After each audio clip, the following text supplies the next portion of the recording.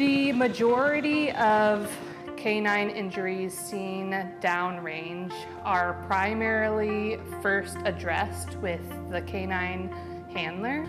And then the next person that typically sees any kind of injured canine is a human health care provider. So it takes the dog to be evacuated out of there in order for them to see veterinary personnel sometimes. And so human health care providers need to know a little bit about canine anatomy, canine medical care in order to provide for our service members.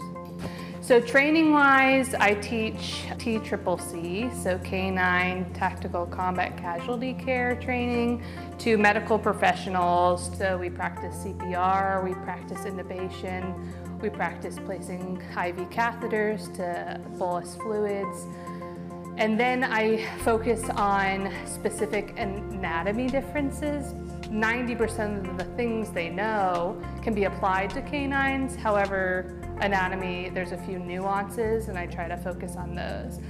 So military working dogs are a huge asset to us. They're able to find things that our equipment or our human personnel are unable to. And we've put a lot of training into them and their handler and the dog, they're a team and they stick together. And so we need to protect them to both save the dog's life and also save those around them.